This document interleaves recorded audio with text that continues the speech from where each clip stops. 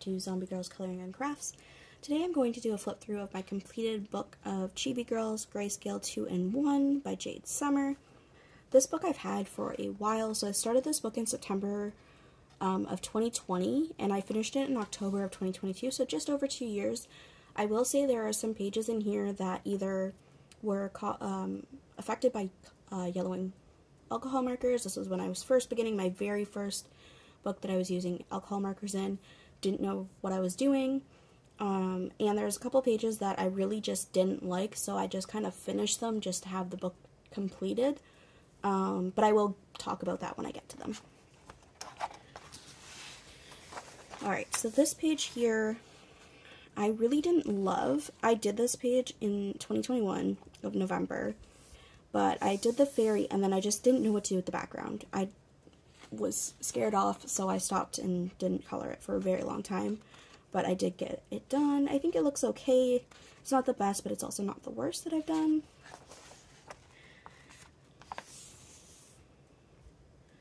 So this um, page was a buddy color with Stacy from For King Art Color.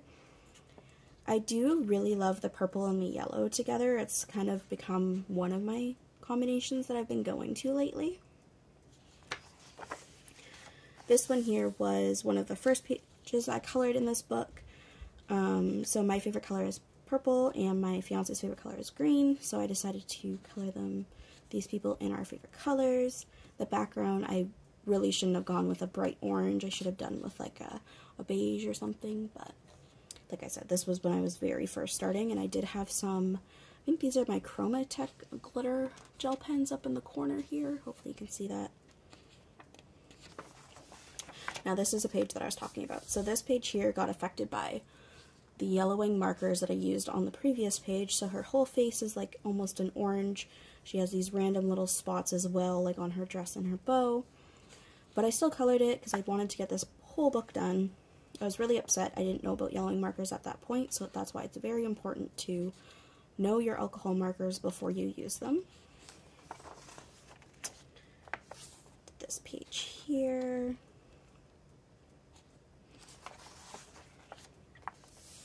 I really loved the steampunk girl.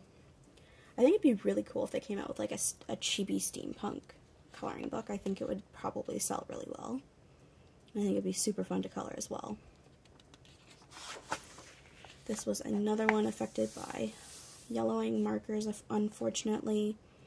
Um, hopefully, I don't know if you guys can actually see it, but it's up in the birds, down on the clouds. I believe it was from, the, yeah, it's from the page before. So I know yellowing mostly goes through the page behind it, but it can actually affect the page in front of it as well. So this is the page that happened with. Um, so it happened to be this brown color, the orange, and the red that were the culprits. Um, and the alcohol markers really weren't great. They were like a, a line-on alcohol marker, so I do not suggest them. Um, I had them to start with, and then I instantly bought my Ohuhus as soon as they went on sale. So this one was really badly affected. That's why I went for darker colors to try and not make it obvious. So her helmet, her whole body basically, and a bunch of the background was affected. So like I said, I went for darker colors. This one here was a buddy color with Cindy Peel over on uh, Instagram. So I did a lot of buddy, different buddy colors in this book here. So this one here was a buddy color with Missy from Color Country Gals Coloring Place. Very fitting for the picture.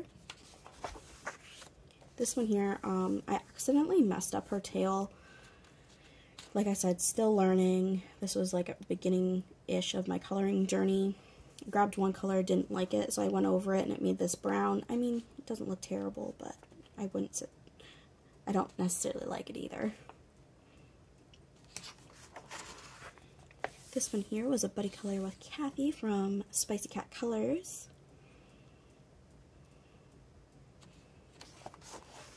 And this one was a buddy color with Lisa from Lisa's Coloring Corner.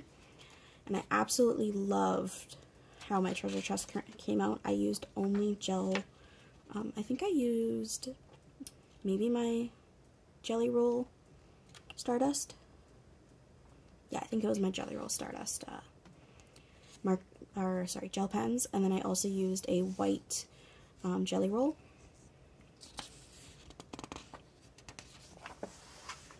This one was another Buddy Color with Kathy. I wish I went with a little bit of a darker background, but I also didn't want the chair in the background to blend into each other. And again, I think I used, yeah, probably the Chromatech. No, no.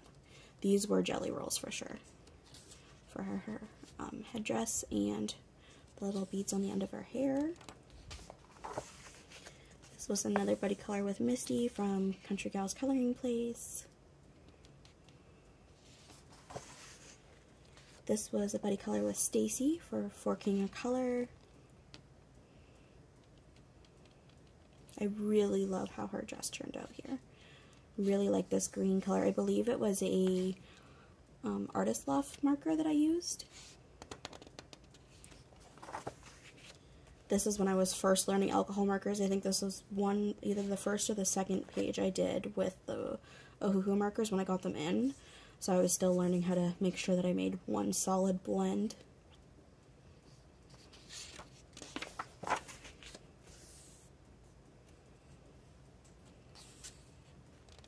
This was one of those pages that I didn't really care for, so I didn't, I just kind of minimalistically colored it, not uh, colored in every detail.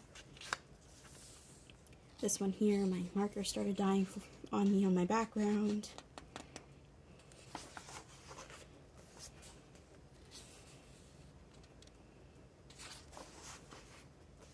this one here, so my fiance used to play football, so I decided to do um, a cheerleader in his colors that he used to play for, so they were green and gold, and I think she turned out really cute. This one here was a buddy color with Nikki and Niagara, and I absolutely love how she turned out. I was really scared to actually do this picture, but as soon as it was done, I actually really, really enjoyed it. So I used, I believe, the Chromatech for her earrings and her headdress, along with her little sash. So this one here is another page that I did with those um, line-on alcohol markers, and it really affected the page behind it. So I will tell you, I absolutely hate the page behind it, but it's done and it's colored. so this cute little bunny, or magician with bunnies yeah, so this one here was almost everything was yellow. So I just decided to color her in and really not focus on the background. Just color it and be done with it. Really hate how it turned out. Don't like it at all. This one here was very intimidating to me.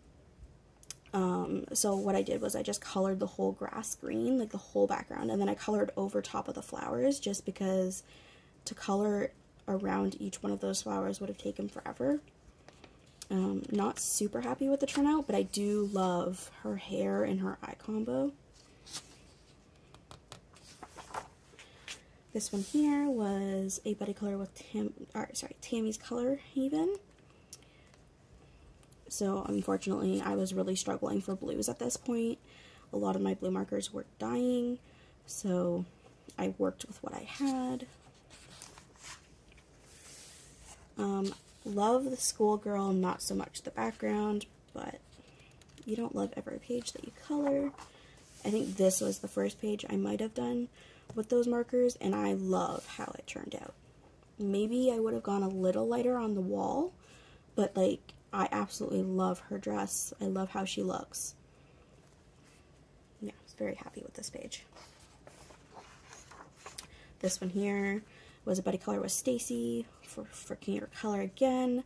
Again, didn't really like this page, so I just decided I'm going to do one color for her outfit, make her hair the same color, and then do the opposite. Doesn't look the best, but at least it's a colored page in my book. Same with this one, another buddy color with Stacy.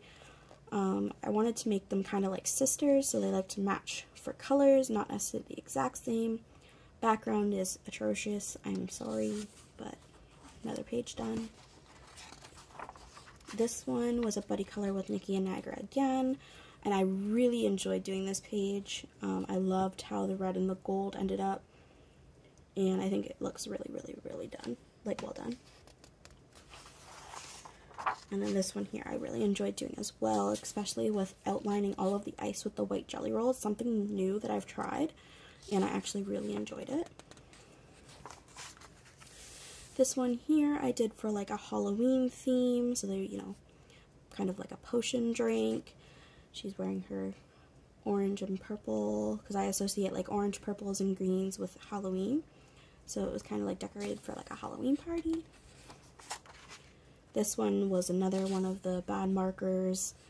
Um, didn't love how it turned out. Really ruined this page, so I decided to try kind of going like with an avatar look and making her blue. Uh, this was another buddy color with Misty from Country Girls Coloring Place. I did accidentally forget to put my blotter page. Thankfully, I remembered after I started. Like, just I only did the one spot.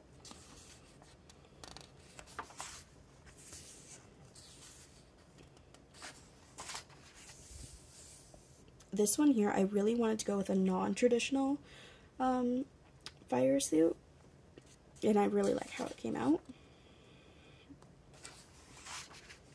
This one was a buddy color with J Pudding.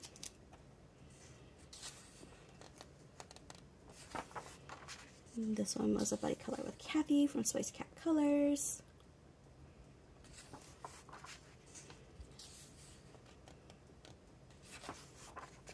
This was another buddy color with Nikki and Niagara. Again, I didn't want to do the stereotypical maid outfit of black and white, so I went with this um, pink on pink, and I actually really like how it turned out.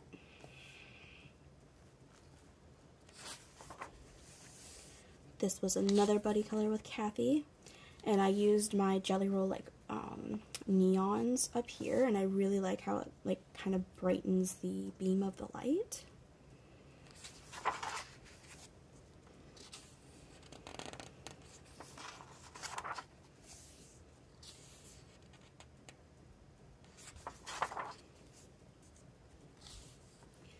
This was a buddy color with Steph.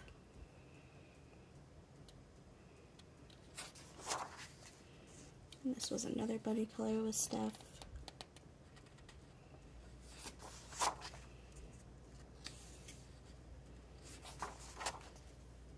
This was a buddy color with Happy Colors. I had a lot of fun with this one. I really loved the hair color. Again, background not my greatest choice, but I do really love the hair in their outfits. This was a buddy color with Tammy's Color Haven. This was a buddy color with Kathy. Again, this is another page. I absolutely hated it. Didn't know what I wanted to do with it. So I went with a yellow dress. Probably not the best choice, but I think it worked out.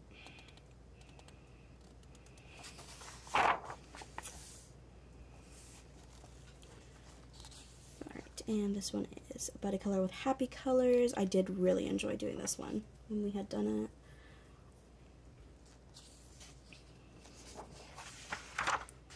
This was a color that I tried with my new markers. These were the JHF art markers. Um, unfortunately, I don't believe they sell them on Amazon anymore, but I did really love how they laid down on the page.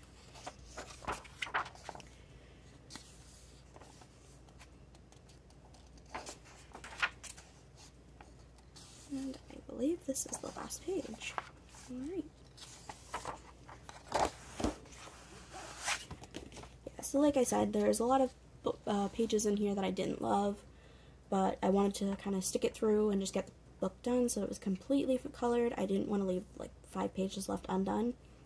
Um, some of my coloring has changed from two, two to three years ago versus now. So definitely looking back, there was a lot of things that I probably would have changed with this book. I am debating on buying the 4-in-1 just because I do love their Chibi series, and I hope that they bring out some more but I do hope that you enjoyed that flip through, and I will see you guys in the next video. Bye, guys.